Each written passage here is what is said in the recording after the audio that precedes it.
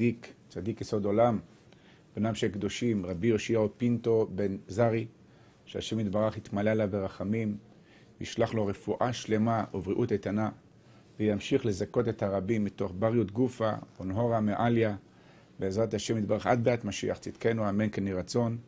כמו כן לרפואת הרב הצדיק רבי יוסף גבאי בן איזה, שהשם יתברך יחזקהו ויאמצהו וירפא לו את מחלתו, בעזרת השם ישוב לביתו מבית החולים בבריאות שלמה, אמן. ולרפואת כל חולי עמו ישראל, שבעזרת השם נשמע בשורות טובות וישועות גדולות בעזרת השם, שהשם יתברך יתמלא עליהם ברחמים וייתן להם כל נחת וכל טוב, אמן כן יהי רצון. אנחנו נעמוד היום על הפסוק הנפלא שאומר, משפטי אדוני אמת צדיקו יחדיו. יש כמה וכמה דברים נפלאים שיש ללמוד מהפסוק הזה. משפטי השם אמת, צדיקו יחדיו. אנחנו, לפי הזמן שבידינו, נאמר כאן כמה ביאורים נפלאים, מתוקים מדבש, עם הרבה חיזוקים שנוכל לקבל על עצמנו. כדאי מאוד להיות קשובים לכל השיעור הזה, שיעור מיוחד במינו, עם הרבה הרבה תובנות, עם הרבה מאוד מוסר השכל.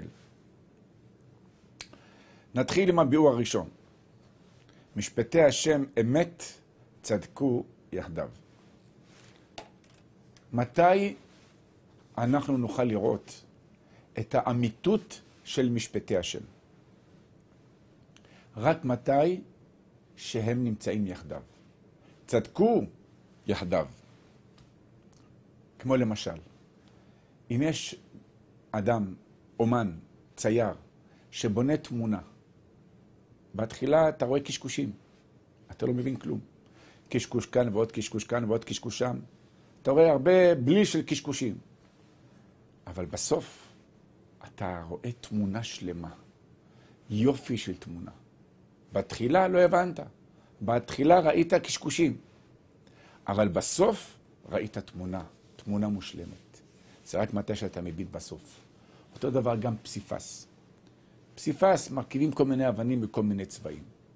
בתחילה, כאשר רואים את הפסיפס ומשבצים את האבנים בתמונה, אתה לא רואה כלום, לא מבין מה, מה, מה זה פה.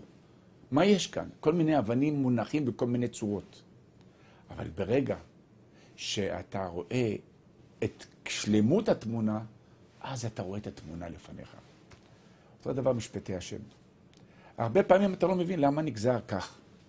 למה קורה לבן אדם מקרים כאלה בחייו, כאשר אתה מתבונן ואתה אומר, באמת צריך להבין מה הסיבה.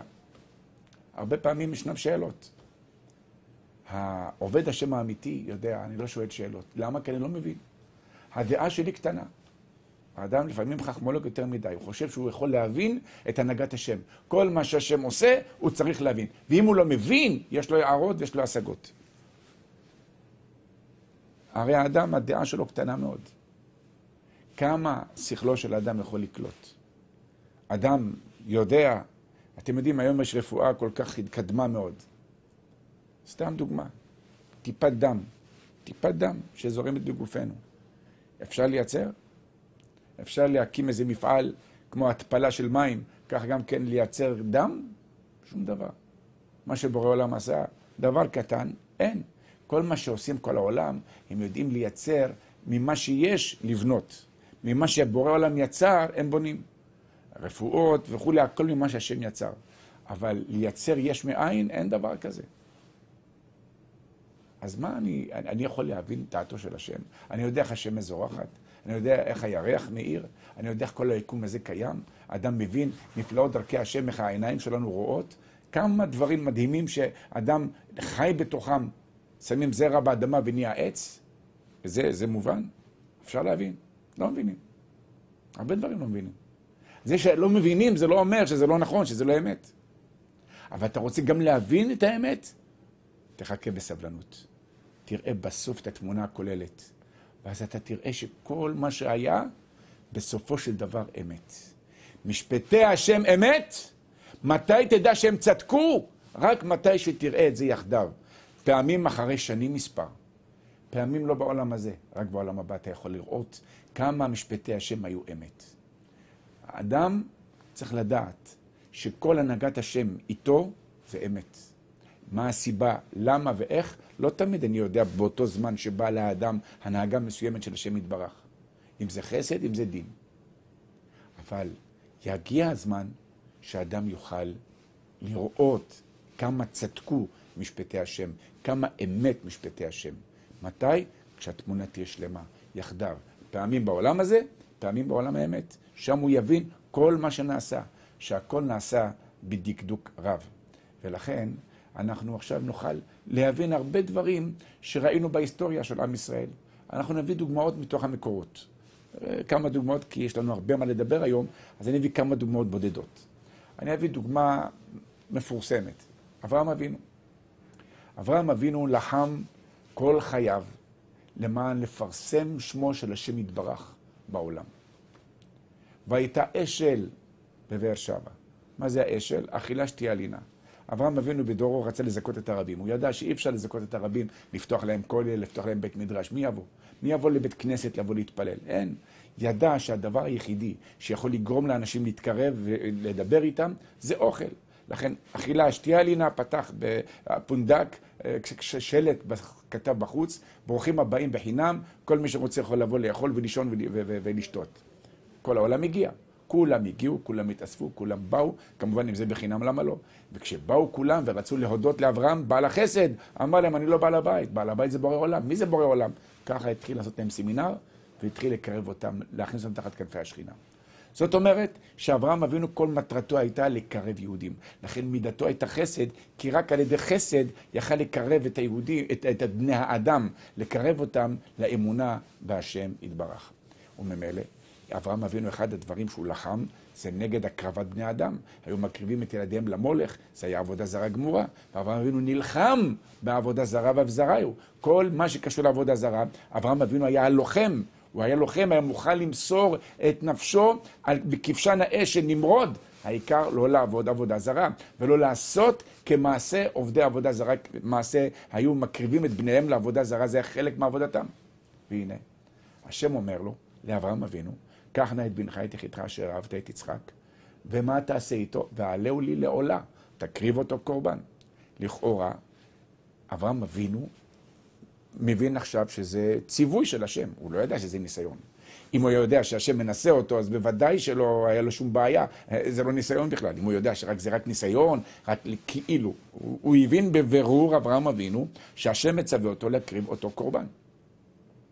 ולכאורה, יש כאן שאלה קשה מאוד לאברהם אבינו. הייתכן? הרי חינכתי מאה שנים, חינכתי דור שלם להיות נגד עבודה זרה, הקרבת הילדים לעבודה זרה. והנה כאן הוא מצווה לקחת את הבן שלו ולהקריב אותו עולה. מה יאמר לעולם? הרי זו סתירה מוחלטת לכל מה שעשה. בוודאי שפה יש לו שאלה גדולה לפני השם יתברך. ריבונו של עולם, איך זה מסתדר? אברהם אבינו לא שואל שאלות. יתרה מזו, השם אמר לו, כי ביצחק יקרא לך זרע. יצחק עדיין לא נשוי, יצחק עדיין רווק, אין לו ילדים, ועכשיו הוא מצווה להקריב אותו קורבן. איך זה מסתדר עם הציווי האלוקי, אה, כי ביצחק יקרא לך זרע? שאלות. אבל אברהם אבינו שתק. משפטי השם אמת. מתי ראינו שצדקו יחדיו? בשעה שבא אברהם אבינו להקריב את יצחק קורבן. ואז המלאך נגלה אל אברהם ואמר לו, אל תשלח יד אל הנער ואל תעש לו מאומה. ואז כל מה שנעשה זה רק ניסיון. ואדרבה, באותו מעמד של עקדת יצחק, נעשה מזבח לשם. נעשה יום זכות, יום זכות לבני ישראל, לדורי דורות. תזכור לנו עקדתו של יצחק. למעשה עקדת יצחק זה היה על מנת ליצור לנו זכות לדורי דורות, לבטל מעלינו מידת הדין ולמתק עלינו אותה על ידי כך שאנחנו מעוררים את הזכות של העקדה, של עוקד והנעקד והמזבח. כל יום ראש השנה אנחנו תוקעים בשופר להזכיר את הזכות של אברהם אבינו ויצחק. אנחנו אומרים, עת שערי רצון להיפתח, עוקד והנעקד והמזבח. אנחנו מזכירים את העוקד והנעקד המזבח בשעה שעת שערי רצון נפתחים, לעורר את הזכות של האבות, של אברהם ויצחק. אז אם כן יוצא שעקדת יצחק הייתה למטרה, לתועלת. הניסיון של אברהם זה היה בשביל ליצור מצב שהיום הזה יהיה יום זכות לבני ישראל. אז אם כן יוצא שבסוף ראית כמה צדקו, אבל זה רק מתי שרואים את הכל יחדיו. אבל בזמן שנצטווה אברהם אבינו לעקוד את בנו, והוא לוקח את הבן שלו לעקוד אותו ולהקריב אותו קורבן, בוודאי כולם היו שואלים שאלות. בוודאי שגם אברהם אבינו היה נורמלי, צריך לשאול שאלות. אבל זה השלמות של אברהם אבינו, שלא, אפילו במחשבה לא עלתה לו שאלה. לא עלתה לו שאלה במחשבה. שלט במחשבותיו, לא עלתה לו אפילו שאלה לשאול מדוע, אלא כלום, אפס. בורא עולם ציווה זה רצונו המושלם, ואני עושה את רצונו המושלם כאשר ציווה השם, ללא שום פקפוק, ללא שום צל, לא רק שלא דיבר, אלא גם לא עלה במחשבה. ניסיון אדיר. הרבה פעמים אנשים עושים דברים כי השם ציווה, אבל יש להם שאלות, למה ואיך, אבל בסדר, השם ציווה, אני עושה. אבל שאלות יש. אצל אברהם אבינו גם שאלה לא הייתה. המוח שלו היה נקי, אפילו לא נקודה אה, קטנה של צל צל של מחשבה. למה השם אמר, הייתכן כדבר, זה סותר את מה שהשם אמר. נקיות מוחלטת. אברהם אבינו.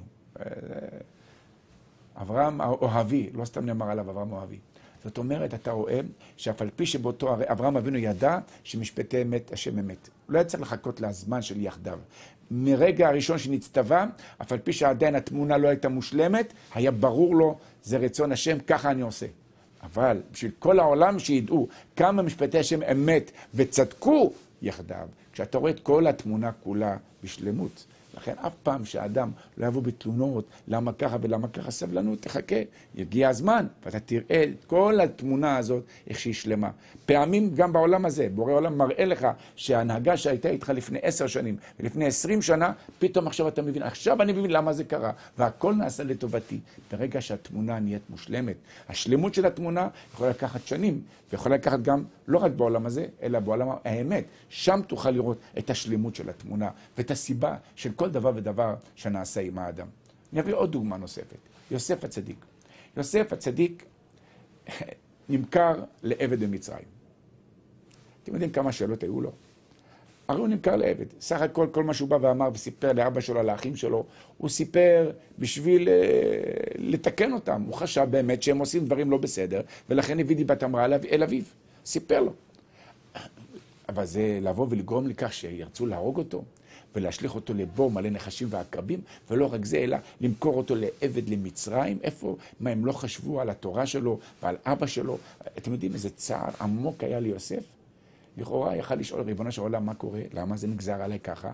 יתרה מזו, כשהגיע לביתו של פוטיפר, ואשת פוטיפר מנסה להחטיאו, והוא עומד בשלו, עד כדי כך שהיא תפסה, תפסה אותו בבגדו, השאיר את בגדו, וינוס ויצא החוצה. לכאורה, היה צריך לקבל עכשיו איזה צל"ש מן השמיים, איזה שבח, איזה מעלה.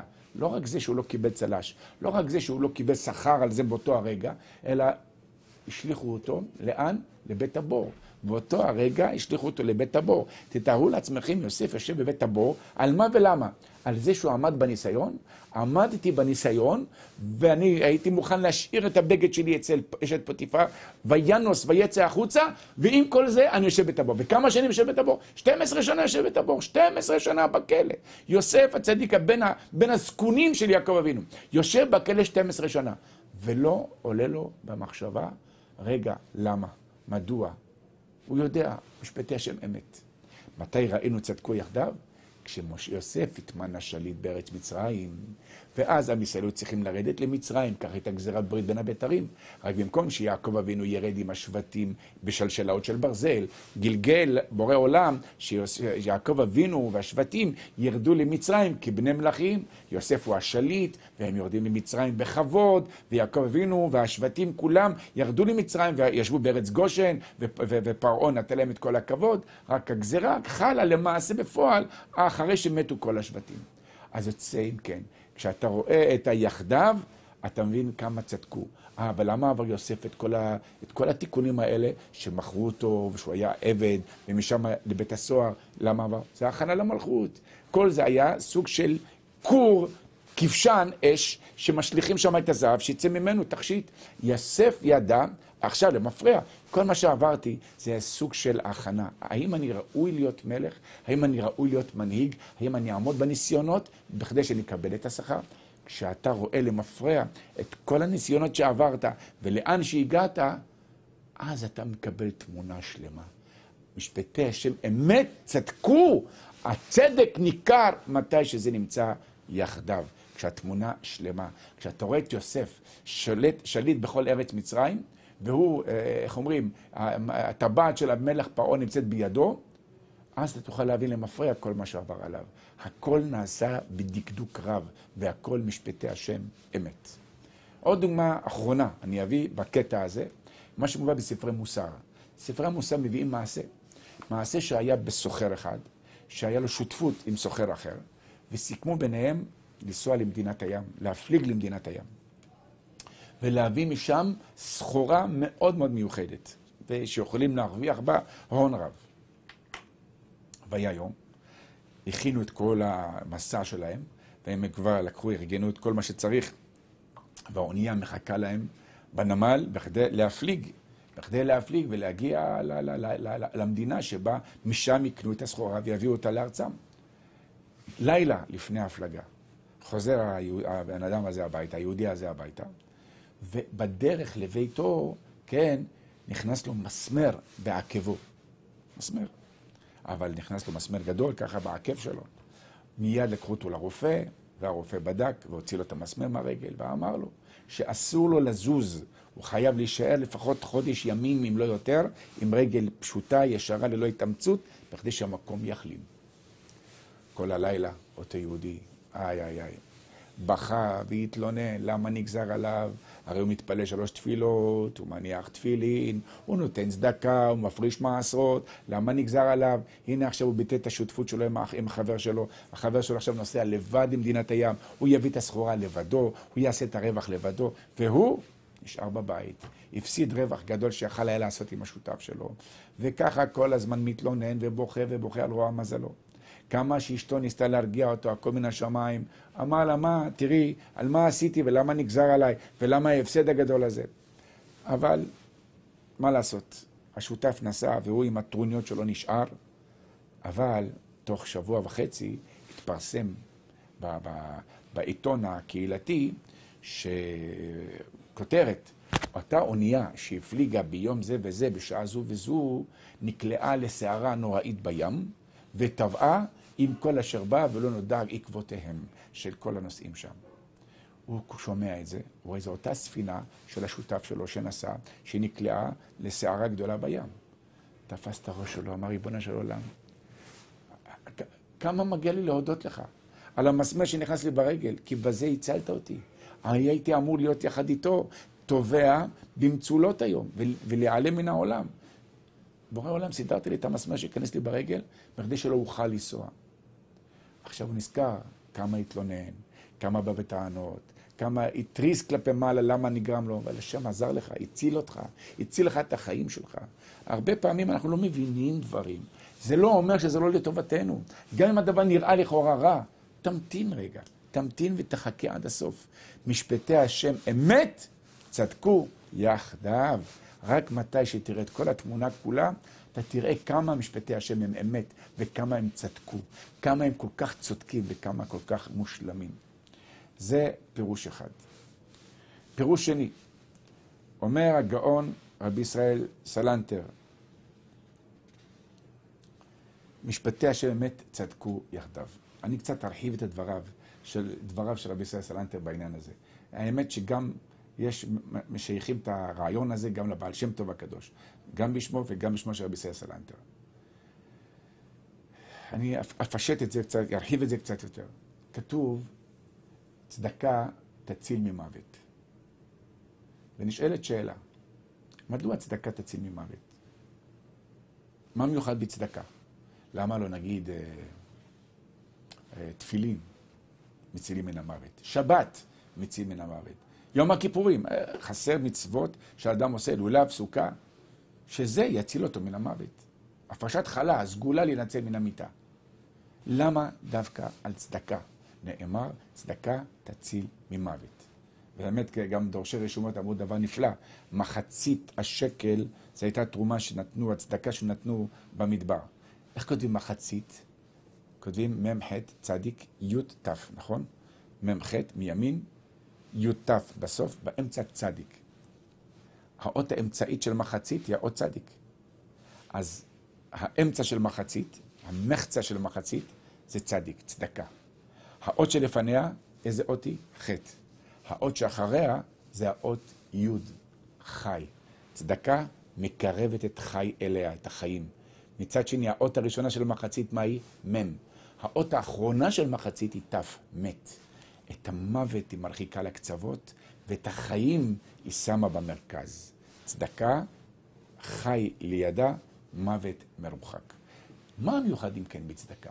למה הצדקה מצילה מן המוות? זו שאלה גדולה. דבר שני, כתוב, הקדוש ברוך הוא לא מואס בתפילת רבים. כאשר יש אדם שנמצא בסכנה והרבים מתפללים עליו, זה יכול לבטל ממנו את הגזרה. מה הסוד של רבים מתפללים עליו? כוח התפילה של הרבים שמבטל גזרה מעל אותו אדם שנידון באיזה גזרה שהיא. מה המיוחד בתפילת הרבים? דבר נוסף שצריך להבין, ידוע שאם אדם יש לו חולה בביתו, ניגש לרב לבקש ממנו ברכה על מנת שיתפלל על אותו אדם שהוא חולה. לכאורה, מה ההסבר בכך? שאדם שיש לו חולה בתוך ביתו ייגש לרב ויבקש ברכה לרפואתו? התשובה היא בגלל פשטות כוח התורה. צדיק גוזר והקדוש ברוך הוא מקיים. כוח התורה זה עוזר. האמת היא, יש איזה נימוקי יוסף במסכת הבבא בתרא, שאומר שמי שיש לו חולה בתוך ביתו ילך למי שתופס ישיבה. לא מודגש שם דווקא אה, אה, שהוא אה, אדם ענק, גדול בתורה, אבל יש לו זכות שהוא תופס ישיבה. כלומר, אדם שהוא תופס ישיבה, אדם שהוא מחזיק תורה, יש לו גם כן זכות גדולה. כך משמע לכאורה, תופס ישיבה. יכול להיות שהכוונה שלו תופס ישיבה, לשון ראש, ראש הישיבה, שהוא מלמד תורה ומחזיק את הישיבה, אבל רמוז פה גם זכות החזקת התורה. אדם שמחזיק תורה, אדם שמקיים תורה, יש לו זכות הרבים לבקש ממנו ברכה. אז איך שלא יהיה, ברור שאדם שניגש לבקש ברכה, הברכה יכולה להשפיע. מה הכוח של ברכת צדיק? אמרתי, פשטות, כוח התורה. זכות התורה, צדיק גוזר, והקדוש ברוך הוא מקיים. אבל אולי בעקבות הרעיון שאנחנו נאמר עכשיו, נבין שיש גם משמעות לברכת צדיק. גם זה רמוז בצדיק, במחצית. האות האמצעית, לא רק צדקה, אלא גם צדיק. צדיק מקרב את החיים. חטא לפניו, יהוד אחריו. חי, ומרחיק את המוות. צדיק. אז כן, מה מיוחד בצדיק שתפילתו עושה אה, משמעות? יכולה לרפות בן אדם, אם אדם, אדם חולה, צדיק מתפלל עליו, התפילה מועילה. מה מיוחד בזה? בשביל להבין את כל זה, נשתמש ביסוד שאומר רבי ישראל סלנטר, וכפי שאמרתי גם הבעל שם טוב הקדוש. משפטי השם אמת צדקו יחדיו. שונים משפטי השם ממשפטי בשר ודם. משפטי בשר ודם כשאדם עבר על איזו עבירה ודנים אותו בבית הדין, דנים לגופו של עניין, על עצם העבירה שהוא עבר. מי שעבר עבירה כזאת, מה החוק אומר? אז יש סעיף בחוק שאומר שמי שעבר עבירה כזו, מגיע לו ענישה כך. למשל, מי שעבר עבירה פלונית, מגיע לו בבית הסוהר חמישה, חמש שנים בבית הסוהרים. חמש שנים בית כלא. מה לעשות? זה החוק, שמי שעבר עבירה כזאת, צריך להיות בבית הסוהר חמש שנים. אם יבוא הסנגור ויאמר, נכון, מגיע לו חמש שנים בבית הסוהר, נכון שהוא עבר עבירה, אבל מה לעשות, יש לו ילדים קטנים בבית, יש לו אישה בבית, אם הוא ייכנס לבית סוהר, מי יפרנס אותם? מה זה מעניין את השופט? וכי את השופט זה מעניין אותך עכשיו מי יפרנס את, את הילדים שלו, את אשתו, או מי יצטער כתוצאה מכך שיהיה בבית הסוהרים? לא מעניין אותו. השופט דן לגופו של עניין. לא מעניין אותו הסבל של הסובבים של אותו אדם שיסבלו כתוצאה מכך שהוא יהיה בבית הסוהרים. משפטי השם לא כך. הקדוש ברוך הוא, כשאדם חוטא והוא דן אותו, הוא לוקח בשיקול של הענישה שלו את כל אלה שסובבים אותו. אם נגיד אותו אדם, יגזרו עליו מן השמיים שהוא ייכנס לכלא חמש שנים, בשמיים לפני שגוזרים את הגזר דין הזה, אומרים רק שנייה אחת. האם, אם הוא ייכנס לכלא חמש שנים, מי יסבול מזה? אומרים, תסבול מזה אשתו והילדים שלו. אומרים בשמיים, רגע, מגיע לאשתו ולילדיו לסבול? פעמים אומרים שכן, מגיע להם. מגיע להם, בסדר. אבל שואלים, חוץ מאשתו וילדיו, יש עוד אנשים שתלויים בו? יש עוד אנשים שזקוקים לו? ואם הוא לא יוכל לעבוד ולתת להם, אז אם כולם יצטערו? כן, הבן אדם הזה, הוא מחזיק תורה, מחזיק בכוללים, מחזיק בישיבות, מחזיק בנזקקים, הוא תומך בהרבה אנשים. ואם הוא ייכנס לכלא בחמש שנים האלה, כן, או חס ושלום ייגזר עליו גזר דין של מוות, כל כך הרבה יצטערו. שואלים בשמיים, האם מגיע לכל אלה שהצטערו? אומרים לו, לא, לא מגיע להם. אה, לא מגיע להם? תבטלו מעליו את הגזרה. משפטי השם אמת צדקו יחדיו, כאשר כל השיקולים נלקחים בחשבון, ובודקים ומבררים מה הדין. האם גם זה, מג... כל אלה שקשורים בו, כל אלה שהוא תומך בהם, אם הוא ימות, אם הוא ייפטר מן העולם, כמה יצטערו? אשתו, ילדיו, הנזקקים, הנצרכים, הכוללים, הישיבות, הבתי כנסת שהוא תומך בהם, כל אלה אמורים להצטער, בשם לא, לא, לא, לא מגיע להם, לא מגיע להם. אז... אבל פעמים שכן, מגיע לו, ומגיע להם, ומגיע להם, אז מידת הדין פוגעת. ככל שהאדם ירחיב את המעגל סביבו, שהוא, שתלויים בו, שהוא תומך בהם, כך גדולה זכותו להינצל ממוות. לכן צדקה תציל ממוות. ככל שאדם מרבה בצדקה, ככל שאנשים תלויים בצדקה שלו, בתי כנסיות, בתי מדרשות, ישיבות, הוא מרבה צדקה, מרבה להיטיב, אז כשרוצ... כשיש עליו מידת הדין, שואלים בשמיים, רגע, האדם הזה הוא לא בודד, הוא לא יחידי, תראה כמה תלויים בו, לכל אלה לא מגיע ענישה כזו. מבטלים ממנו את מידת הדין, צדקה תציל ממוות. זה ההסבר גם כן למה צדיק, ברכת צדיק למה מועילה. כשבאים לצדיק והצדיק מתפלל, והצדיק כאוב ומצטער בצערו, זה נקרא ברכה אמיתית. לא סתם איזה משברך שנאמר אה, כלאחר יד, אלא משברך אמיתי שהצדיק מצטער בצערו של החולה. היו הרבה אדמו"רים שהיו מקבלים קהל, והיו מברכים את האנשים החולים שבאים אליהם עם צרותיהם. היו אדמו"רים כאלה שלאחר קבלת קהל, כל החליפה שלהם, כל הבגד שלהם היה כולו, הכל היה רטוב מרוב זיעה ומרוב לחץ נפשי שהיו מקבלים אחד לאחד, היו לוקחים את זה ללב, היו מצטערים בצערו של כל יהודי ויהודי. בשמיים אומרים רק שנייה, לא נגזר על הצדיק הזה להצטער בצערו של זה. ותראו כמה הוא בוכה כשהוא מברך אותו. האם מגיע לו לצדיק להצטער? לא, לא מגיע, לא מגיע, תבטל מעליו את מידת הדין. תבטל עליו את הגזרה. זאת אומרת, ברכת צדיק יכולה לבטל גזרות, כי על הצדיק לא נגזר. תפילת רבים, ככל שרבים מתפל, מתפללים, אז זה בוודאי שיכול לבטל גזרה. כי אם יש הרבה שמצטערים בצער של אותו אדם, אומרים בשמיים, לא נגזר על כל כך הרבה אנשים שמתפללים, שכולם יצטערו. לכן מאוד מאוד חשוב, כאשר בן אדם נמצא במידת הדין עליו, חולה וכדומה, ככל שמרבים הרבה אנשים להתפלל עליו, מרבים, אז הקדוש ברוך הוא לא מועס תפילת רבים. ככל שיש הרבה שמצטערים בצערו של אותו אדם, אומרים בשמיים, לא נגזר על כל כך הרבה אנשים להצטער בגללו, מבטלים ממנו מידת הדין. זה ההסבר, כן, למה כתוב חבורה, שמת אחד מהם, תצטער כל החבורה, תדאג כל החבורה. אם יש קבוצה של חברים שנפטר אחד מהם, אז באותה שנה כל החבורה הזאת אמורה לדאוג, לפחד ולעשות זכויות בכדי שלא תפגע בהם מידת הדין. לכאורה, מה הקשר? חבר שלהם נפטר, היה לו מידת הדין. מה זה קשור לכל החבורה שהיא צריכה לדאוג? מה, מה, הם לא חייבים דווקא להיות משפחה, גם לא משפחה, אלא כל החבורה, כל חבריו, כל ידידיו. כמובן שמשפחה זה הכי קרובים אליו, אבל גם המעגל הסובב אותו, הם צריכים לדאוג. התשובה היא פשוטה. כי אם הוא אחד מן החבורה, והוא היה חשוב בחבורה, וכל החבורה הזאת היו כנראה זקוקים לו וצריכים לו, ואם כל זה נגזר עליו שהוא ימות, כלומר שלא עמדה הזכות שלהם לבטל ממנו מידת הדין. אם לא עמדה הזכות שלהם לבטל ממנו מידת הדין, תדאג כל החבורה. למה הזכות שלהם לא עמדה לו? למה הזכות שהוא קשור אליהם והוא תומך בהם והוא עוזר להם, אם כל זה אמרו בשמיים, מגיע לו למות. זאת אומרת שהזכות שלהם לא, לא עמדה לו לאותו אדם. אז לכן, תדאג כל החבורה. צריכה לפחד. צריכים לחשוש, כי הזכות שלי לא עמדה, הזכות של החבורה לא עמדה להגן עליו. אם כן, זאת, זו התשובה הנפלאה, לפי מה שאמר הגאון רבי ישראל סלנטר והבעל שם טוב הקדוש, כן, שמשפטי השם אמת צדקו יחדיו. מתי משפטי השם הם אמת? כן, רק מתי שבורא עולם רואה שכל הסובבים, כל הסובבים של אותו אדם, כל אלה שמקיפים אותו, כולם מגיע להם שמידת הדין הזאת תפגע בו, והזכות שלהם לא עמדה, אז מידת הדין כן, פוגעת, אבל כל זמן שהזכויות של הכלל, שהם נתמכים ממנו, שהם נעזרים על ידו, משפחתו וידידיו וקרוביו, שאם חס ושלום יקרה לו גזירה כזאת, הם יסבלו ולא מגיע להם, בורא עולם מבטל ממנו את מידת הדין. זאת אומרת, אתה רואה כמה הבדל בין משפטי השם לבין משפט בשר ודם. שהקדוש ברוך הוא לוקח בחשבון את כל דבר ודבר שבא על האדם, כן? כל דבר ודבר שבא לאדם, הכל בא בדקדוק רב, מתוך מחשבה, מתוך התבוננות, לראות את כל ההיקף שלו, את כל המסביב שלו. הביאור השלישי. הביאור השלישי אומר אותו המהר"ל בתפארת ישראל.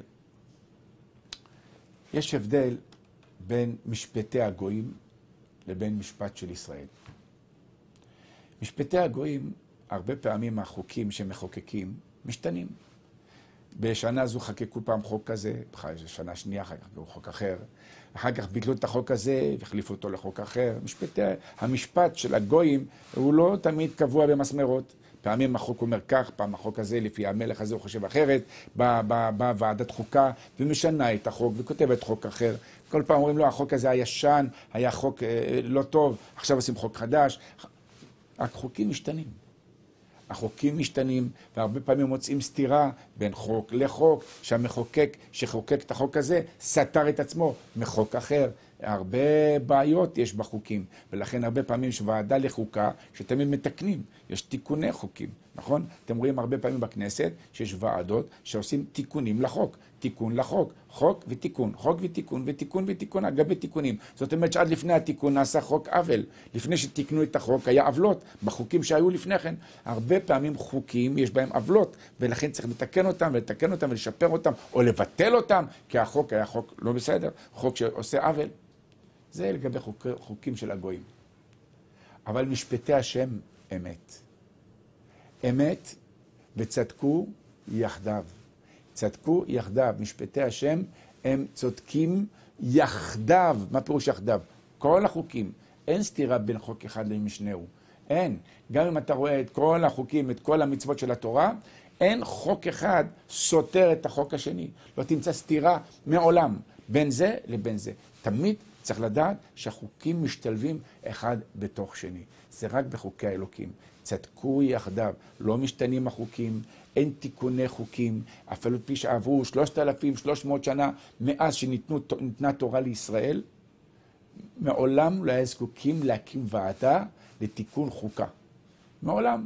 לא היה צריך ועדה לתיקון חוקה, לא היה צריך לתקן שום חוק. ומעולם לא מצאו סתירה בין חוק לחוק. ואז מה עושים? החוק הזה צודק או החוק הזה צודק. יש לנו תרי"ג מצוות, תרי"ג מצוות, כן? 613 מצוות. מעולם לא מצאו סתירה בין מצווה למצווה, בין חוק לחוק, חושן משפט שלם שפוסקים דינים בדיני ממונות. אבן העזר, כן? שפוסקים דינים בהלכות אה, אישות, כן? וכמובן באישות, אה, קידושין וגירושין. יש יורד דעה, מה מותר לאכול, מה אסור לאכול. חוקים על גבי חוקים, סימנים על גבי סימנים, סעיפים על גבי סעיפים. והכל מתוך תורתנו הקדושה. אין סתירה בין סעיף לסעיף, אין סתירה בין חוק לחוק. הכל ברור, אורח חיים, הלכות שבת, הלכות מועדים, החוקים ברורים, הכללים ברורים, אין אלפי שנים אותם חוקים קיימים. ואף על פי שהדור כל כך התקדם, והעולם כל כך התקדם, מי חלם לפני מאה שנה או לפני 200 שנה שיגיעו לירח ושיהיה חלליות ושיהיה מטוסים? אה, מי חלם? לפני, לפני מאה שנה בקושי ידעו שיש גלגל בעולם. אז מה, הרי כל החוכמה הגדולה שהתפתחה רק במאה השנה האחרונות, יש זוהר גדול, זוהר נפלא על זה, שאומר שתתרבה החוכמה ב- ב- ב- ב- בתקופה הזאת שלנו, תתרבה החוכמה בעולם, ואכן במאה השנה האחרונות התרבתה החוכמה בעולם כן? בצורה מלאה ארץ דעה, דעה. דעה, כמובן דעה בתורה הקדושה, אבל לא רק דעה בתורה הקדושה.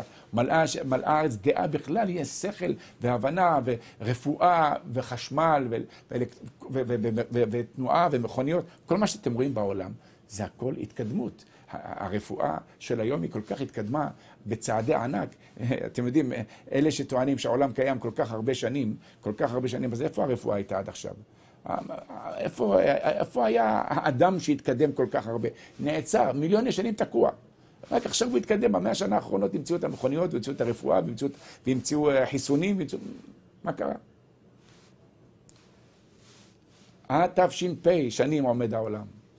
והזוהר כותב שרק בדור האחרון יתגלה, מלא הארץ דעה, תהיה דעה בעולם, האמת ויציב. ולכן, עכשיו בתקופה הזו, בתקופה האחרונה, מתרבה, מתרבה חוכמה בעולם. וגם עולם התורה גדל ופורח ומשגשג בלי עין הרע. לא יאומן כי סופר. אם זה התלמודי תורה, אם זה עולם הישיבות הספרדי והאשכנזי, זה, זה, זה, זה לא יאומן. איזה, איזה פריחה של תורה, ברוך השם, בארץ הקודש ובחוץ לארץ. עולם התשובה, כמה גדל, בן פורת יוסף. כמה אנשים מתקרבים לתורה וליהדות, ומלאה הארץ דעה את השם. זה הכנה לפני ביאת המשיח. זאת הכנה, אין ספק. והנה, כל מצוות התורה, אמת. משפטי השם אמת, צדקו יחדיו, אין סתירה, הכל צודק, יחדיו צודקים. אין סתירה בין חוק לחוק, אין תיקון לחוק. הגם שהחוקים שלנו מלפני 3,300 שנה. אף על פי שהעולם מתקדם כל כך, עם כל זה, הכל אמת ויציב. אין חוק אחד שהוא לא רלוונטי. אין חוק אחד שתגיד, הוא לא רלוונטי לדורנו, הוא לא מתאים. העולם מתקדם, החוק לא מתאים לדור שלנו. אין דבר כזה. כל התרי"ג מצוות, כולנו חיים בו, כאן בעידן הכי מודרני שיש, במקום הכי מתקדם שיש, והכל, אנחנו מקבלים תשובה מתוך תורתנו שהיא תורת חיים. היא תורה שמשתלבת עם החיים שלנו לאורך זמן ולאורך תקופה ולא משתנה. ושום חוק הוא לא נהיה חוק לא רלוונטי. כל החוקים תואמים ומתאימים. מאידך גיסא, חוקי הגויים, מה החוקים שהיו לפני שלושת אלפים שנה, שחקקו אז אותם אנשים אה, שהיו אה, בעולם, האם זה מתאים לדור שלנו? ודאי שלא. הרבה חוקים של פעם השתנו לחלוטין, לא מתאימים בדורנו. זה החוקים של אומות העולם, שהם סותרים את עצמם מיניה ובה, מדור לדור, מתקופה לתקופה ומזמן לזמן. תמיד צריך לעשות ועדה לחוקה, לתיקון החוקה. משפטי השם אמת צדקו יחדיו. צודקים כל משפטי השם לאורך כל ההיסטוריה, לאורך כל הדורות. ולמה? כי משפטי השם הם אמת. הם משפט האלוקים.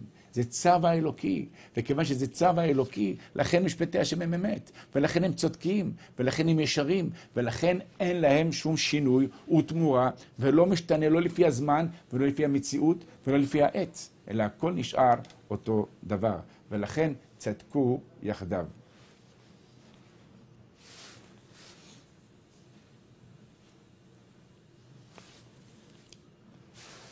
ביאור נוסף, ביאור נוסף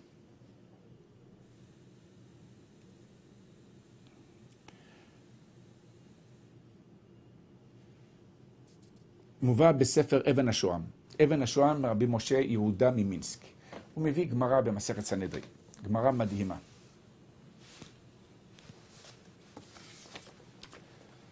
הגמרא אומרת, בדף צדיק א',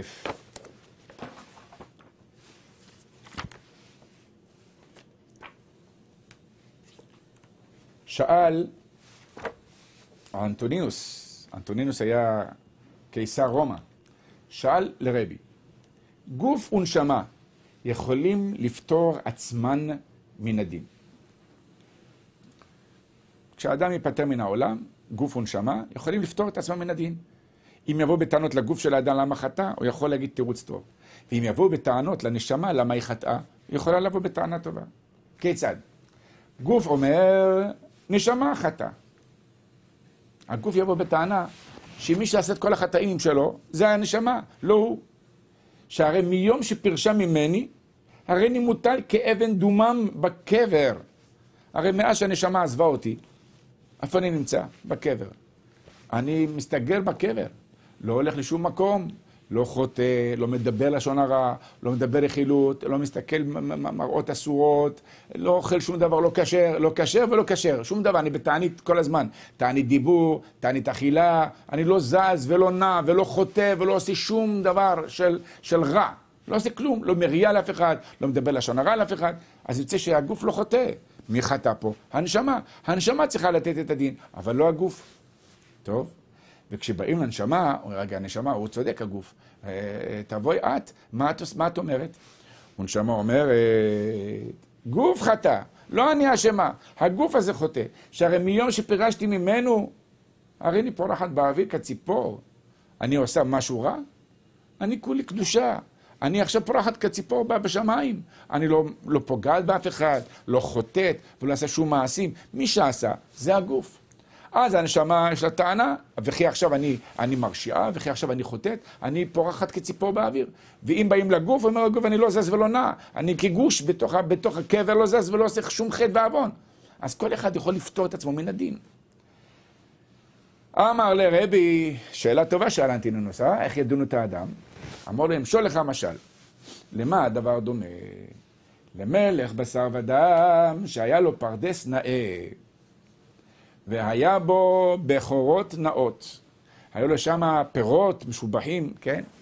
והושיב בו שני שומרים, אחד חיגר ואחד סומה. הוא מינה שתי שומרים, אחד חיגר ואחד סומה. למה מינה אחד חיגר ואחד סומה, לכאורה זה שומר? תשובה, החיגר אין לו רגליים, אבל הסומה יש לו רגליים, אבל הסומה לא רואה. אז ככה, שניהם לא יכולים לקחת לו את הרצה, מצד אחד שישמרו לו על המקום, מצד שני שלא יוכלו לקטוף לו את הפירות ולקחת לעצמם. לכן שם שומרים כאלה, להסביר למה המלך שם שומרים כאלה, אולי זה ההסבר, שככה אחד לא יכול לזוז, השני לא יכול לראות, ואז אחד משלים את השני, זה מגלה לו וזה רץ, וככה הפירות לא, אה, לא ינסקו, לא מהגנבים ולא מהשומרים. אבל מה קרה? אמר לו החיגר לסומה, תקשיב טוב חביבי, בכורות נאות אני רואה בפרדס. אני, יש לי עיניים, אני רואה, יש פה פירות, חבל על הזמן, מיוחדים. אבל אני לא יכול לקטוף, כי אני חיגר. בוא והרכיבני, ונביאם לאוכלם. בא הסומה שהיה חזק, רק סומה, הרכיב את החיגר על גבו, וכמובן קטפו מהפירות, ואכלו שניהם יחד. לימים בא בעל הפרדס. הוא רואה איפה הפירות? כל הפירות נקטפו, העצים ריקים מבלי, ללא פירות. אמר להם, בכורות נאות היכן הן? הרי שמתי אתכם שומרים כאן. איפה כל הפירות שגדלו פה על העצים, למה אינם? אמר לו חיגר, תגיד לי, אדוני, אתה חושד בי שאני לקחתי את הפירות? הרי חיגר אני, וכי יש לי רגליים להלך בהן, אני חיגר, לא יכול לזוז. הוא פונה לסומה, ומה איתך? אמר לו, כבודו, כלום יש לי עיניים לראות, אני לא רואה כלום. מה עשה אותו מלך? הרכיב חיגר על גבי הסומה. אמר, עכשיו אתם יכולים לקטוף פירות? כן. דן אותם כאחד. אמר, אם כן, אני שופט, אני דן את שתיכם, כשאתם אחד על גבי השני, אתה סומה אה, אה, מרכיב את החיגר, וככה עשיתם את החטא. ועם זה אתם נותנים את הדין. אף הקדוש ברוך הוא מביא נשמה וזורקה בגוף, ודן אותם כאחד. שנאמר, יקרא אל השמיים מעל ואל הארץ לדין עמו.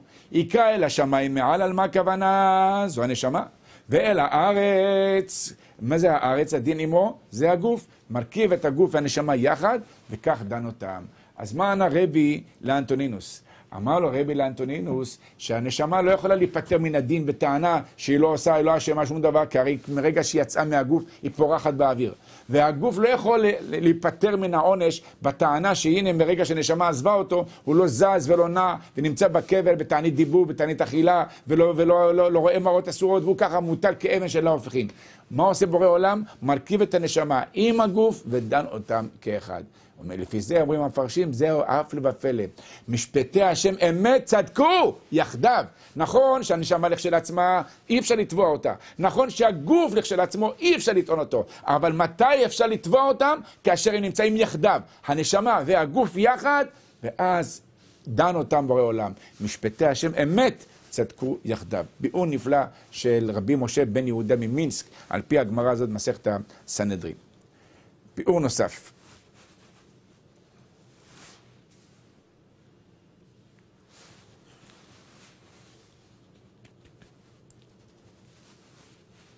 יש בתורה חוקים ויש בתורה משפטים. יש מצוות שכליות ויש מצוות שהן חוק וגזירת מלך. למשל, כבד את אביך ואת אמך. האם זה דבר שכלי או דבר שהוא גזירה? שכלי. גם גויים מכבדים הורים. למה? דבר מובן מאליו. זה האבא, זה האימא, אני צריך לכבד אותם, צריך לאהוב אותם, להעריך אותם, לייקר אותם, כי הם הוריו של האדם. זה נקרא מצווה שכלית. לא תרצח. זה איסור שהוא מתקבל על הדעת. לא לרצוח, לא ליטול נפש של אדם. לא תגנוב. לא להעיד עדות שקר. לכן זה הדרך, כל עשרת הדיברות. אתה מבין כל דבר ודבר, אלה מצוות שנקראות מצוות שכליות. אבל ישנן מצוות שהן ללא תבונה, ללא שכל. השכל שלנו לא מבין אותן. למשל, ניקח דוגמה, פרה אדומה. פרה אדומה, התורה אומרת שאם בן אדם נטמע בטומאה קשה, שנקראת טומאת מת, נטמע במת, בשביל לטהר אותו, שיוכל להיכנס לבית המקדש, צריך להביא אפר הפרה. דהיינו, פרה אדומה, תמימה, שאם יש בה שתי שערות שחורות, היא פסולה.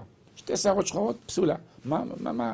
ואם יש בה שתי שערות שחורות, מה השתנה בה? הרי זאת הפרה. רק מה, שתי, שתי שערות שחורות? לא. צריך שלא יהיה בה שתי שערות שחורות. למה ככה נגזר?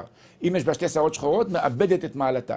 פרה אדומה תמימה, שלא יהיה בה אפילו שתי שערות שחורות. לא רק זה, אשר לא עלה עליה עול. אם רכב עליה בן אדם, רכב על הפרה, אפילו שנייה אחת רכב עליה, או נשען עליה, פסולה. אשר לא עלה עליה עול. יתרה מזו, לאחר ששורפים אותה ולוקחים את האפר שלה, והכהן מזה על הטמא, אותו כהן הוא טהור, והוא מזה על הטמא, והטמא נטהר. ומה קורה לכהן? נטמע. היא מטהרת את הטמאים ומטמאה את הטהורים. למה? אי אפשר להבין, זה סתירה, ממה נפשך? מתוך החוק עצמו. אז לכאורה זה נקרא חוק שאין לו שכל, חוק שאין הבנה, אבל זה חוק שהשם גזר. אותו דבר יש גם כן עוד חוקה למשל, שנקראת שעטנז. שעטנז, שעטנז זה צמר ופשתים יחדיו. אסור ללבוש בגד מורכב מצמר ופשתים. זה סתם לדעת את ההלכה הזו, הרבה לא יודעים ממנה, וקונים חליפות מאיטליה, או קונים חליפות מהונגריה או מפולין, כל מיני בגדים, ולובשים אותם וחושבים שהכל בסדר. קנינו בגדים, הכל טוב. רבותיי, יכולים לעבור איסורים ואיסור יום-יום. יום-יום. אם אדם קונה בגדים ממקומות שלא אינם מפוקחים, שלא נבדקו הבגדים שנעשו שם, או מטורקיה, או מכל מיני מקומות שמגיעים בגדים, אם אין על זה פיקוח על שעטנז, אדם יכול לעבור איסור בכל יום שהוא שם את הבגד עליו. כן, אם זה חולצה, אם זה מכנסיים, אם זה חליפה, אם זה ג'קט, או אישה, שמלה שלובשת, או ג'קט שלובשת, עוברים איסור של צמר ופשתים. ברגע שיש גם צמר וגם פשתים יחדיו, תפרו את הבגד מזה, הרי אתה נמצא באיסור לאו. הגמרא אומרת, כן, שברגע שאדם לבוש בצמר ופשתים יחדיו, ברגע שנודע לו שהוא לבוש בצמר ופשתים, אין עצה ואין תבונה נגד השם. צריך להוריד את הבגד מיידית, כן? אפילו שיש לו ביזיונות, אנשים רואים אותו, אין מה לעשות. זה איסור תורה. אפילו דקה לא תוכל להישאר עם זה. אפילו ללכת רגע לאיזה מקום שתוכל להתחבות. לא, אפילו פה כבוד האדם. אין, תוריד מעליך את הבגד הזה שיש עליך בו שעטנז. אז מה עושים אם אתה בכל זאת קונה בגד מחוץ לארץ, קונה בגד מאיזה חנות שמצא חן בעיניך, או שמלה של אישה, או חליפה של גבר, לא משנה מה, יש מעבדות. יש מעבדות שבודקות את הבגד, פותחות, פורמות, חלק מסוים, בודקים היטב היטב לראות ממה מורכב הבגד הזה, ואז אתה מקבל אישור שהבגד ללא חשש שעטנז. מי שקונה בבני ברק, בחנויות המוכרות בבני ברק, אז שם יש את הפתק שאומר שהבגד הזה נבדק משעטנז. אז לא סתם לקנות בגדים. אז כל מי שחזר בתשובה, מי שהתקרב לתורה, והוא לא שמע מזה, הנה, אתם שומעים? עכשיו, זו הלכה מיוחדת שלמדנו שיש איסור שעטנז, והאדם צריך לבדוק את הבגדים שהוא קונה, אם הוא קנה אותם באיזה מקום שאין לזה פיקוח ואין לזה בדיקה שהדבר הזה לא נעשה בו שעטנז, אז יש מעבדות. בבני ברק, תבדקו, אתם תראו שיש הרבה מעבדות כאלה, שאתה מביא את הבגד, את הבגד בסכום סמלי, לא סכום יקר, הם בודקים לך את הבגד ואומרים לך בדיוק אם יש בזה שעטנז או אין בו שעטנז. אז אם, תגיד לי, אבל מה הסיבה של איסור שעטנז? אז מה יש עם צמר ופשתים יחדיו? למה זה אסור?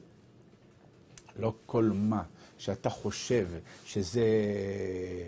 אתה לא מבין, זה לא אומר שזה לא נכון. כמו שמשפטי השם, אמת, משפטי, משפט, לא חוק, משפטי השם. כגון למשל, כבד את אביך ואת אמך, כגון לא תגנוב, לא תרצח. משפטי השם אמת, אז תאי לך גם החוקים הם אמת. צדקו יחדיו, אותו דבר. אין הבדל בין החוק לבין משפט. בורא עולם יראה לך שיש משפטים שאתה כן מבין, אבל בדברים אחרים שלא גילה לך את הסוד שלהם, ולא לא גילה לך את הטעם שלהם, אז אל תאמר, לא יודע מה הטעם, כנראה הדברים הם לא שכליים, דברים לא מובנים, דברים שאני לא, שאין בהם, שאין בהם אמת חס ושלום. לא, אלא משפטי השם באמת צדקו יחדיו, הכל צודק. כמו שמשפטי השם אמת, כמו שהשם יתברך גילה לך את האמת ואת הסיבות של משפטי השם, של המשפטים שהם מובנים והם שכליים, דע לך, גם החוקים, גם החוקים שאין בהם טעם, צדקו. למה? יחדיו. כי הם אותו דבר, נאמרו מפי הגבורה. כשם שהמשפטים נאמרו מפיו של בורא עולם, כך גם החוקים נאמרו מפי בורא עולם. וכשם שמשפטי השם נאמרו מפו, מפי בורא עולם, ולכולם יש היגיון ולכל יש סברה, גם לחוקים שלא נתפרשה תורתם ולא נתפרשה הסיבה, גם להם הטעם הוא אותו טעם שיש, אותה סיבה מוצדקת כמו שיש גם כן למשפטים. כי מי שאמר את החוקים, הוא גם אמר את המשפטים. כפי שהוא אמר במשפטים סיבות ודברים מובנים לך, יהיה לך, תנוח דעתך. גם על החוקים יש את הסיבה ואת הטעם. זה שאתה לא יודע, זה לא תמיד אה, בורא עולם מגלה לאדם את הסודות של כל טעמי המצוות, למה כך ולמה אחרת. אבל משפטי השם אמת וצדקו, ויצדקו יחדיו. הכל בין החוקים ובין המשפטים.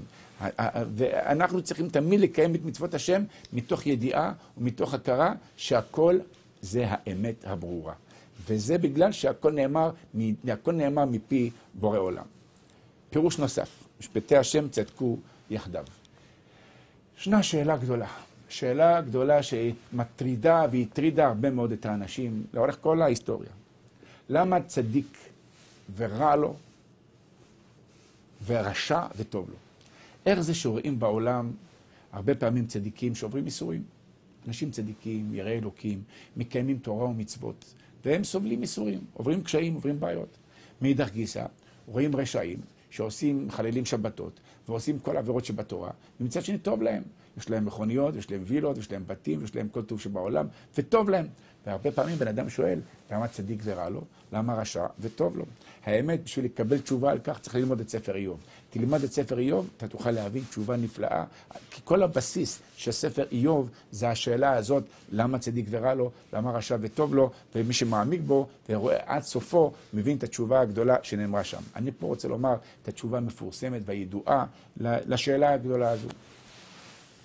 אני אקדים קצת הקדמה את דברי הרב דסלר זצ"ל. כתוב, טובה שעה אחת של קורת רוח בעולם הבא, מכל חיי העולם הזה.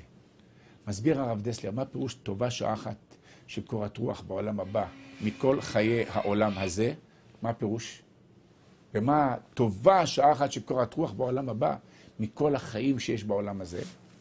אומר, ניקח לדוגמה, אדם, נפריד ממנו את כל הצער שהיה לו. את כל האיסורים שהוא עבר, נפריד ממנו, נוציא ממנו את כל האיסורים. נשאיר לו רק את ההנאות שחווה בחייו מיום שנברא העולם ועד אותו זמן. אומר הרב דסלר, תתארו לעצמכם, תדמיינו איך מרגיש אותו אדם באותו הרגע. שלקחו ממנו את כל הצרות ואת כל הבעיות והוא מרגיש, רק השאירו לו רק את ההנאות. אה? אי אפשר לתאר את ההנאה הצרופה הזו. זאת אומרת, תדמיין לעצמך, לקחת את כל תושבי ארץ ישראל, לקחת להם את כל הצרות, ותיקח מהם רק את ההנאות שלהם ותשפוך על אותו אדם במנה קדושה. איך הוא ירגיש? אה? מרחף. אי אפשר לתאר כל ההנאות של כולם. תתאר לעצמך כל בני האדם בכדור הארץ. כמה מיליארדים, שבעה מיליארד, שמונה מיליארד. כל כך הרבה מיליארדים יש בעולם. תיקח מהם רק את ההנאות שחוו בחייהם. כן? של כל השמונה מיליארד בני האדם האלה, קח מהם את כל ההנאה ותשפוך את זה על אדם אחד. אה? אפשר לדמיין את ההנאה שלו? ממשיך הרב דסלר ואומר, לא רק את כל אלה החיים בעולם הזה, כל אלה שחיו מאדם הראשון עד ימינו, מיליארדים, מיליארדים, מיליארדים של בני אדם שחיו מבריאת העולם ועד היום, ניקח לכולם רק את ההנאות שלהם ונשפוך את זה בבת אחת על אדם אחד. אי אפשר לתאר מושג של הנאה, איך הוא נהנה אותו אדם. הרי זה דבר שהוא אה, מופקע מבינתנו. אומר הרב דסלר, ההנאה של חיי עולם הבא, טובה שעה אחת שקורת רוח בעולם הבא, מכל ההנאות של כל אלה שחיו וחיים בעולם הזה. אם תיקח את כל ההנאות של כל בני האדם שחיו וחיים עכשיו, ותשפיע את זה על בן אדם אחד, זה לא יהיה שווה שעה אחת שקורת רוח בעולם האמת. אתם יודעים מה זה נקרא השכר הנצחי האינסופי? אם אדם מקיים מצוות תפילין, איזה שכר הוא מקבל בעולם האמת, איזה הנאה יכול, הנשמה שלו תתעדן בטוב הצפון לצדיקים. ואדם לא יכול לקלוט ולהבין ערך של מעלה, של מצווה אחת. מצווה אחת, תפילין, שבת, כשרות, התמודדות של, של ניסיון ועמד בו, איזה שכר אינסופי הוא מקבל. ולכן מובן היטב, אומר הרב דסלר, למה שכר מצווה והי עלמא ליקה? למה אין שכר מצוות בעולם הזה? אין. למה, למה השם לא נותן שכר על המצוות? הרי כתוב, היום לעשותם ומחר לקבל שכרן. בעולם הבא לקבל שכר. אין שכר על המצוות בעולם הזה. נשאלת שאלה מדוע? תשובה, לא שהקדוש ברוך הוא לא משלם שכר בעולם הזה כי הוא לא רוצה לשלם. התשובה היא אין במה לשלם. נאמן הקדוש ברוך הוא לשלם שכר לאדם. רק אין במה לשלם, אין כסף לשלם, אין במה. מה תיתן לאדם על מצווה שהוא עושה? הרי כל ההנאות של כל חיי עולם הבא, חיי עולם הזה, לא שווה שעה אחת שכוח רוח בעולם הבא. ומצווה זה שכר אינסופי בעולם הנצח. במה תוכל לשלם לו? באיזה מטבעות אתה יכול לשלם לו? לכן, שכר מצווה בעלמא לקה, כי אין במה לשלם. אין במה לשלם. לפי זה מובן היטב היטב מה העניין של אה, אה, אה, אה, רשע וטוב לו. צדיק ורע לו. אין צדיק בארץ אשר יעשה טוב ולא יחטא. והעולם הזה זה עולם כזה זמני, עולם חולף. כולנו, כל אלה בני 60, בני 70, שיסתכלו במראה, יסתכלו על הפנים שלהם, פתאום הכל נהיה לבן, קמטים במצח. אם כל אחד מאיתנו יסגור את העיניים, מה הוא יזכור? תזכרו את הגן, תזכרו את הגננת שלכם. כל אחד יזכור, אה? איך שהוא היה עדיין קטנצ'יק, משחק שם עם, עם, אה, עם ג'ולות, משחק, עם, משחק במחבואים, משחק תופסת, כולנו זוכרים, נכון? היינו פעם קטנים. והיום מה? זהו, כבר כל, אה, איך אומרים, בגיל 60-70, המקום שמבקרים בו הכי הרבה זה קופת חולים. כל פעם לרופא, או משעמם, או לא יודע מתוך מה הולכים, בדיקה כזאת, בדיקה כזאת, בדיקה כזאת, כל היום הולכים לרופא וחוזר. למה כבר זהו, מתקרבים כבר לקראת התחנה הסופית. מה זה החיים של האדם? כצל חולף. כצילו של עוף הפורח, כצילו של עוף הפורח. איך אומרים? אה, יום המוות מיום מבלטו. מתי מתחיל יום המוות? מיום מבלדו. איך שהוא נולד, כבר מתחיל מוות. השעון מתחיל לתקתק. לא רק בגיל זקנה מתחיל המוות. יום המוות, אומר שלמה המלך, מיום יוולדו. מיום יוולדו. איך שנולד הבן אדם, מתחיל המוות. השעון חול מתחיל לזרום. החיים של האדם הולכים וזורמים ונאבדים. החיים שלנו קצרים. אז ממילא, אם החיים שלנו קצרים, אז העולם הזה זה עולם חולף, והעולם הבא זה עולם הנצח. זה נצח אינסופי, נצח נצחים אינסופי. ממילא. אין צדיק בארץ אשר יעשה טוב ולא יחטא. אין דבר כזה. כל אדם חוטא או בלשון הרע, או חוטא בדבר זה או בדבר אחר, בשוגג או במזיד, לפעמים הוא חוטא, אפילו שהוא צדיק. אה, מה לעשות, אפילו משה רבנו, נכון? הוא חטא בחטא במי מריבה. דוד המלך וכולי. אומר, אין, כל האומר דוד חטא אינו אלא טועה, אבל בדרגה שלו היא בחינת חטא. וכן זה הדרך, אנחנו מצאנו הרבה גדולים שכולם אה, קיבלו אה, איזושהי עבירה מסוימת שחטאו. אין צדיק בארץ אשר יעשה טוב ולא יחטא. ולכן משה רבנו נענש. נענש ולא נכנס לארץ הקודש, לא נכנס לארץ ישראל. אהרון הכהן לא נכנס לארץ ישראל. למה? קיבלו את העונש. הרי הוא צדיק, אולי נעשה לו פרוטקציה, אולי נוותר לו. אין דבר כזה. בשביל לקבל את האין סוף בשמיים, בורא עולם מזכך אותנו כאן בעולם הזה. בגלל שהאדם צדיק, ובורא עולם רוצה לתת לו את הנצח האינסופי בשלמות, העולם הזה זה עולם הזיכוך, עולם הטהרה, זה עולם זמני, עולם רגעי, עולם קטנצ'יק. אז uh, עושים פה ניתוחים. פה העולם הזה זה בית חולים. כאן זה בית חולים. זה מתקנים את האדם, מנתחים אותו, מסדרים אותו, כל אחד לפי מה שהוא, אה, במה שהוא פגם, מטפלים בו. בכדי שבעולם הבא יבוא בריא ושלם. אבל רשע. רשע בעולם לא רוצה אותו בעולם האמת. רשע, אכזרי.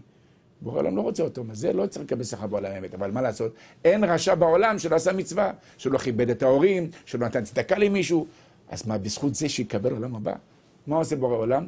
הוא משלם לשונאיו אל פניו להעבידו.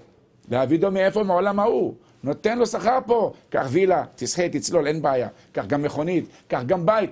קח עולם הזה בשבילך. קבל שכר בעולם הזה. הוא משלם לשונאיו אל פניו, קח. להעבידו, להעבידו מאותו עולם. לכן רשע מקבל עולם הזה. בשביל מה? בשביל שיקבל את שכרו. אבל צדיק, בגלל שהצדיק הזה אמור לזכות בנצח, הרבה פעמים איסורים באים בשביל לכפר על אותם עוונות שהוא עשה, בשביל שהוא לא ייכנס למצב שיאבד חלקו בחיי הנצח, בחיים האינסופיים. לכן משפטי השם אמת, מתי צדקו? צדקו יחדיו. רק מתי שאתה רואה את שתי העולמות, את העולם הזה עם העולם הבא. אתה רואה את שתי העולמות. אבל אם אתה רק רואה את העולם הזה, ואתה מסתכל רק על העולם הזה, אתה לא מבין כלום. אבל רק אם אתה רואה משפטי השם צדקו יחדיו, העולם הזה עם העולם הבא ביחד, שאתה מחבר את שתי העולמות, ואתה מבין שכל התיקון שלו בא, זה בשביל לתקן אותו בעולם האמת, שבעולם האמת הוא יקבל שכרו האינסופי, אז אתה תבין כמה צדקו. גם האיסורים שבאו על הצדיק, זה הכל נעשה לטובתו. אז מתי אנחנו נראה שמשפטי השם אמת צדקו? יחדיו. מתי שאתה לא תסתכל על העולם הזה כעולם הזה לבד. תבין שיש עולם הזה ויש עולם הבא.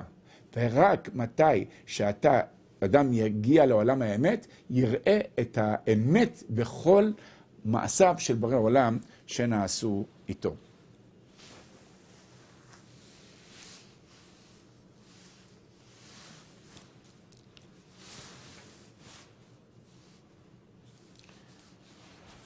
אני אביא איזה משל, שבזה אנחנו ככה נסכם את, את העניין של השיעור הנפלא והמתוק הזה שלמדנו היום. ישנו משל שמביא החפץ חיים, לאדם כפרי, שהכפרי הזה היה מוכר שקי קמח. היה מטעין עגלה מלאה שקי קמח, מביא את זה ליהודי הסוחר, ומוכר לו שקים. אבל מה לעשות שהכפרי הזה, הגוי, עם הארץ, לא יודע לקרוא טוב, לא יודע לקרוא מספרים, לא יודע שום דבר. עכשיו, איך נעשה חשבון, כמה שקים הורידו? אז לוקחים קופה, ועל כל שק ששווה נגיד 100 רובל, שמים רובל אחד בקופה. וכשמורידים את כל השקים, סופרים כמה רובלים, על כל רובל נותנים 100 רובל, נכון? יפה. אז הגוי מוריד שק, היהודי שם רובל. עוד שק, עוד רובל. וכל רובל שווה 100 רובל. עושים אחר כך סופרים את הרובלים, יודעים כמה, כמה מאות רובל הוא צריך לקבל הגוי עבור השקים שהוא הוריד. והנה הרובלים מצטברים, מצטברים בקופה, והשקים יורדים ויורדים, עד שנהיה קופה מלאה רובלים. והיהודי היה צריך רגע לצאת, ביקש מהגוי מחילה, אני הולך רגע החוצה, והוא ראה, הגוי, את הרובלים האלה בצלחת, הוא לא יכול להתאפק, יש פה כסף עומד, יכול לגנוב, וכן, מיד לקח חופן של רובלים, שם בכיס שלו, בלי שהיהודי ירגיש, חזר היהודי. טוב, ממשיך הגוי להוריד שקים, שמים רובלים, לאחר מכן ספרו את הרובלים, שילם לו לגוי. והגוי מבסוט, שמח. מה עשה? אה, גנב את היהודי. אבל היהודי שם חבל שלא לקח יותר רובלים. על כל רובל שהוא לקח, הוא הפסיד, כנראה, על כל רובל אחד, במקום רובל, מאה רובל. זה הרבה פעמים בן אדם לא חושב שהוא מקבל שכר בעולם הזה שהרוויח משהו, כן? הרוויח, הרוויח רובל, אבל אתה לא יודע על הרובל הזה שהרווחת בעולם הזה, איזה נצח הפסדת, איזה נצח נצחים הפסיד אדם בעולם האמת. הרבה פעמים אנשים חושבים, רשעים, טוב לי, אני נהנה מהעולם הזה, אני מקבל שכר בעולם הזה. דע לך, אתה אוכל את העולם הבא שלך. אם אתה נהנה מהעולם הזה כאשר אתה לא שומר תורה ומצוות, כאשר אתה לא מקיים את מצוותיו ועושה חטאים ועוונות, אתה מקבל את העולם הזה, דע לך, עולמך אתה אוכל. את העולם שלך אתה אוכל. אז אל תתחיל להרגיש טוב ותשב על הכורסה שלך בהנאה ותגיד, יפה מאוד, אני נלחם בתורה, נלחם בעובדי, בעובדי השם, נלחם בשומרי מצוות, והנה תראה איזה גן עדן יש לי. אתה אוכל את העולם הבא שלך. השכר שלך בעולם הבא, על מצווה כזו או אחרת שקיימת, אתה קיבלת אותה בעולם הזה. אבל אשרי מי ששמח בחלקו. גם אם יש איסורים, גם אם יש קשיים, תדע לך, צדיק הקדוש ברוך הוא משלם את שכרך במושלם. והרבה פעמים האיסורים שבאים על האדם בעולם הזה, הם באים רק לכפר ולטהר את האדם, בכדי שנשמתו תהיה ככה בשלמות, בצורה מזוככת, תגיע לעולם האמת. אז לא תמיד, לא תמיד מי שגונב את הרובלים חושב שהוא מרוויח. הרבה פעמים, בדרך כלל, מי שגונב את הרובלים, הוא מפסיד כנגדם מאות רובלים. מאות ואלפי רובלים, שזה השכר הנצחי האינסופי. אז אם כן, זו התשובה. משפטי השם אמת מתי תדע שהם צדקו? מתי שהם יחדיו, בעולם הזה ובעולם האמת. ברגע שאתה תראה את הכל בעולם הנצח, אז אתה תבין למה האיסורים שבאו לכאן, הכל היה בשלמות ובצדק נכון. פירוש נוסף, משפטי השם אמת צדקו יחדיו. זה, הביאור הזה מפרש את הסמיכות של שתי הפסוקים. הרי זה מופיע בפסוק אחד. זה מתחיל הפסוק י', יראת השם טהורה עומדת לאט, משפטי השם אמת צדקו יחדיו. בא לומר כך, מתי משפטי השם אמת? הרבה פעמים בן אדם לומד תורה, אבל בלי יראת שמיים. אתם יודעים, יש כאלה עושים בגרויות וללמוד תורה. תלמוד, לומדים תלמוד בבלי באוניברסיטה, ובשביל להוציא תואר. בשביל להוציא תואר, בשביל להיבחן על זה בבגרות, אבל ממש ללא יראת שמיים. אז מה, אז משפטי השם אמת? וכי במקרה הזה משפטי השם הם, אה, הם צודקים? אומר הפסוק לא. בכדי שהתורה תהיה תורת אמת, משפטי השם אמת, מתי הם צדקו? רק אם הם יחדיו. יחד עם יראת השם טהורה עומדת לעד. אם תשלב יראת שמיים עם התורה, אז כשיש יראת שמיים, מתוך יראת שמיים נלמדת התורה, אז באופן כזה, כן, צדקו יחדיו. אי אפשר להפריד בין חוכמת התורה לבין יראת שמיים. ישנם הרבה לומדי תורה. עולם הישיבות מלא, ברוך השם, בן פורת יוסף. הרבה בחורים שיושבים ולומדים תורה. אבל צריכים לדעת, בשביל לזכות לתורת אמת, בכדי לזכות למשפטי השם אמת, זה רק אם יש את יראת שמיים טהורה. אם יש יראת שמיים טהורה אמיתית שעומדת לעד, יראת שמיים חקוקה בלבך, אז אתה תראה כמה משפטי השם אמת. כלומר, הצדקו, המשפטי, המשפטי השם הם אמת והם צודקים, ודבריך דוברי אמת, זה רק כשהם יחדיו. יחדיו היראת שמיים עם התורה. אין הפרדה בין יראת שמיים לתורה. אין מושג להיות תלמיד חכם ולא ירא שמיים, אלא התורה והיראת שמיים הולכות בד בבד. ולכן, תלמיד חכם, המהות שלו זה שילוב של שני הדברים יחד, יראת שמיים ותורה. יראת שמיים ומידות טובות. אי אפשר חס ושלום לראות תלמיד חכם שמצד אחד נוהג במנהגים שלא ראויים לתלמיד חכם, אבל פי שהוא מלא וגדוש בחוכמה וידע, אבל אם אין יראת שמיים, אם אתה לא רואה את היראת שמיים שחקוקה בליבו, תרחק משם. לכן נאמר, אם דומה רבך למלאך השם, בקש תורה מפיו. וכן ראיתי פעם מלאך השם, איך אני יכול לדעת אם דומה רבך למלאך השם? שאלה ששואלים כולם. לפי הביאור הזה, אף לבפלא. אתה לא יכול לקבל תורה מאדם שאתה לא רואה בו הנהגה של מלאך השם. מלאך השם עושה ציוויו של בורא עולם, ללא התחכמויות, ללא פשרות. אם הרב שלך, אתה רואה אצלו שהוא מקפיד בכל התורה כולה, אין אצלו מצב שאתה אומר, הוא עשה עבירה, עשה חטא, זה ככה צריך להיות. אין דבר כזה, יש תורה. אתה, אין, אין מושג שלאדם שהוא תלמיד חכם מותר לו לעבור על העבירות שכתובות בתורה. תגיד שזה בסדר גמור. אין דבר כזה. כמו שאתה מחויב במצוות השם, מה שמותר ואסור, גם מי שלא יהיה מותר ואסור. אז אם דומה רבך למלאך השם, שאתה רואה אותו מדקדק ומקפיד בכל מצוות השם, קלה כבחמורה, אז ממילא ברור שהתורה שיוצאת ממנו, משפטי השם, אמת. אמת. ורק אם צדקו יחדיו. הם צדקו רק מתי שזה יחדיו, שהיראת שמיים והתורה נמצאת יחד.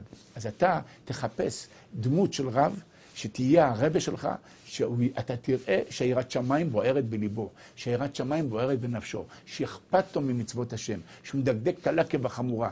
רק אחד כזה שהוא דומה למלאך השם, תבקש תורה מפיו. כי רק אז תוכל לראות שמשפטי השם אצלו הם אמת. הסייעתא דשמיא יש בציוויו, הסייעתא דשמיא יש בפסקיו. לכן כתוב אצל דוד המלך, שהוא זכה שכל מה שהיה אומר, היה אומר, היה אומר הלכה, אליבא דלחתה. היה אומר הכל אליבא דלחתה. איך הוא זכה לזה? זכה בגלל לו סייעתא דשמיא. כי דוד המלך היה ירא שמיים. הוא לא יכול לחבר תהילים. כל התהילים כולו זה השתפכות הנפש. תראו כמה אנחנו מלמדים רק על הפסוקים שחיבר דוד המלך. כל התהילים זה דבקות בשם. כל התהילים זה יראת שמיים. דוד המלך שחט את היצר הרע שלו. כתוב ליבי חלל בקרבי. אז דוד המלך, ליבי חלל בקרבי, שחט את היצר הרע. זכה להגיע לצדקות כזאת. זכה דוד המלך שכל אשר הוא עושה, השם מסכים איתו.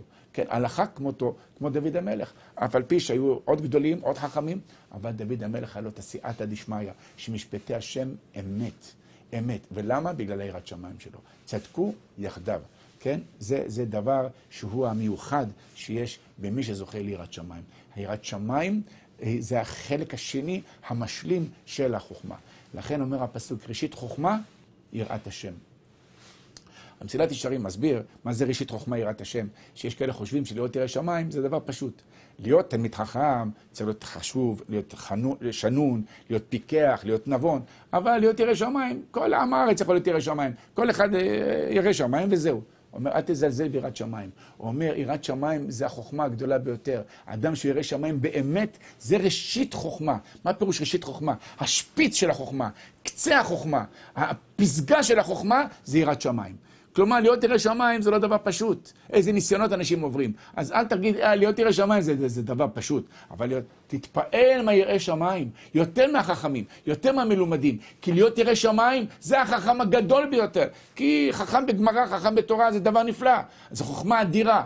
אבל השפיץ של החוכמה זה יראת שמיים. כך אומר, אומר הרמח"ל, במסילת ישרים. ראשית חוכמה, השפיץ של החוכמה יראת שמיים. אבל אפשר לומר עוד פירוש נוסף בראשית חוכמה. לפני החוכמה צריך לבוא יראת שמיים. היראת שמיים זה הבסיס לחוכמה. אתה לא תוכל לקבל חוכמת השם. לא תוכל שהנשמה תאיר את לבך אם אין לך יראת השם. היראת השם זה הבסיס, זה הכלי, בכדי שתוכל לזכות לתורה ולחוכמה. עוד פירוש נוסף, משפטי השם אמת צדקו יחדיו. יש הבדל בין משפט הגויים לבין משפטם של ישראל, משפט התורה. ותראו איזה פירוש נפלא עד מאוד, אומרים כאן המפרשים. הרי כתוב שנגזר על האדם בראש השנה, כמה הוא ירוויח באותה שנה. כמה יפסיד, כמה ירוויח. מזונותיו של אדם קצובים לו מראשית השנה עד אחרית השנה. הכל מתי? בראש השנה. בראש השנה גוזרים, לכן בראש השנה צריך לדעת להתפלל טוב. הרבה אנשים מחפשים פרנסה, רוצים קצת אה, להרוויח, מחפשים כל מיני עצות איך להגדיל את הפרנסה של הבית. אבל הרבה אנשים לא מבינים ולא יודעים שהמפתח של הפרנסה נמצא ביום ראש השנה. כשהולכים בראש השנה לבית הכנסת והספרים נפתחים, כולל ספרי פרנסה של האדם, כן? בספר חיים, ברכה ושלום, פרנסה טובה. בורא עולם פותח ספר של פרנסה. אתה רוצה לזכות לפרנסה טובה, שתוכל ללמוד תורה ביישוב הדעת, שתוכל לפרנס את משפחתך וילדיך. בראש השנה תבכה, תתחנן, תכין את עצמך לקראת ראש השנה. תדעו לכם, אה, תמוז כבר בפתח. אתם יודעים מה זה ראשי תיבות תמוז? ראשי תיבות תמוז, זמן תשובה ממשמש ובא. אלול זה אלול. אב, מה זה אב? אלול בא. שימו לב, תמוז, זמן תשובה ממשמש ובא. אב, אלול בא, ואלול זה אלול כבר, ראש השנה. אנחנו כבר נקראים עכשיו בשלושה חודשים שלפני אלול, כבר מעכשיו צריך להתכונן. כבר מעכשיו צריך להתעורר לקראת הימים שאנחנו נאמר, בן אדם עליך נרדם קום קירה בתחנונים. אז אם אדם רוצה פרנסה, זה בראש השנה, כי אז זה נגזר. עכשיו, אם ככה, כשאתה בא לבית הדין, ויש לך דין ודברים עם פלוני, אתה תובע אותו מאה אלף שקל, וההוא נתבע במאה אלף שקל. אז אם זה דין תורה... ובדין תורה פסקו לך שאתה מקבל מאה אלף שקל, ככה נפסק בדין תורה. אז משפטי השם אמת צדקו יחדיו. עם מה שנגזר בשמיים, שנגזר עליך בראש השנה, שאתה אמור להרוויח כך וכך, אז מה שנגזר עכשיו בדין תורה, זה תואם את מה שנגזר בשמיים מראשית השנה. משפטי השם אמת, בגלל שהם אמת, צדקו יחדיו. זה צודק, הדין, הדין המקומי בעולם הזה, יחד עם הדין השמימי, לא סותר. אבל אם אתה הולך לפי ספר החוקים של הגויים, אז הרבה פעמים אתה נגזר עליך כאן גזירה, שאתה אמור לקבל כסף שלא לפי מה שנגזר עליך בראש השנה, אז זה לא צודק יחדיו, בשמיים גזרו עליך דבר מסוים, פה נגזר עליך משהו אחר. הכסף הזה שקיבלת אין בו ברכה. כשם שבא, כך ילך ממך בשנייה אחת, ברגע אחד. פתאום האגזוז הלך באוטו, למה? לא יודע מה. אתה בא הביתה, הצנרת התפוצצה, אתה הולך לישון, קם בבוקר, קיבלת דוח מס הכנסה, צריך להחזיר החזרים, מקזזים לך כל מה שלקחת שלא כדין. למה? כי זה לא בא על פי משפטי התורה. משפטי השם אמת, אמת. לכן, לא, אל תחשבו שזה הכל, ברכת השם זה לפי התלוש שכר. הרבה אנשים יכולים להרוויח 30 אלף שקל, 40 אלף שקל, אבל מה קורה? לא עלינו ולא עליכם. מקבלים את הכסף, נכנס לחשבון, אבל יש להם פתאום הוצאות. פתאום נכנס עליהם איזה, איזה תיקון, פתאום אה, צריכים, האוטו הושבת, פתאום אה, לא עלינו יש בעיה. האישה פתאום באה מקופת חולים, אומרים לה הרופא שהיא צריכה לעשות השתלת שיניים, כל הפה, וכמה זה עולה? עולה 70 אלף, 80 אלף. אתה לא מבין מאיפה באים עליך כל הגזרות, מימין ומשמאל. ואתה צריך לשלם. בורא העולם עושה איתך קיזוזים. אל תחשוב שאתה תרוויח מעבר למה שנגזר בראש השנה. אם נגזר בראש השנה X ואתה הרווחת יותר מדי, יש ניכוי מס במקור. אתה מתקזז עם, עם מורה עולם בצורה מסודרת, עד ראש השנה הכל יוחזר. לכן, אם אתה הולך למשפט התורה, מה שקיבלת, על פי דין, משפטי השם אמת וצדקו יחדיו, עם מה שנגזר גם בשמיים, עם מה שנקצב לך מראשית השנה, זה צודק, זה עם זה, כך נגזר. אבל אם אתה לא הולך לפי משפטי התורה, משפטי הגויים לא תמיד צדקו יחדיו, משפט הגוי יכול לפסוק לך שאתה מגיע לך, כאשר בשמיים לא גזרו כזה, כך עליך. ואז כל מה שלקחת, אין ברכה, והכל הולך לאבדון. לכן צריך לדעת לשמור על משפטי השם. אשרי מי שזוכה, שמנהל את ענייניו לפי דעת תורה. ואם יש לך דין ודברים, זה לגיטימי, יש לך דין ודברים עם בן אדם. גש לבית דין. יש הרבה בתי דינים לדיני ממונות שפוסקים ומגשרים בין בני אדם ופוסקים דין על פי דעת תורה. ואז אתה רגוע, וישנת, וערבה שנתך עליך, כי אתה הלכת על פי דעת תורה. משפטי השם אמת צדקו יחדיו. ברוך השם, הבאנו כאן אה, ככה מגוון של רעיונות, מגוון של פירושים על הפסוק הנפלא הזה, משפטי השם אמת צדקו יחדיו. השם מזכה אותנו. שנוכל לראות את היופי ואת האמת הצרופה שיש במשפטיו, לזכות לעסוק בתורה, להתקדש בקדושת התורה, ולזכות לראות את האור הגדול שלה, שהושפע עלינו מאורה לברכה ולבריאות ולנחת, אמן כן יהי רצון.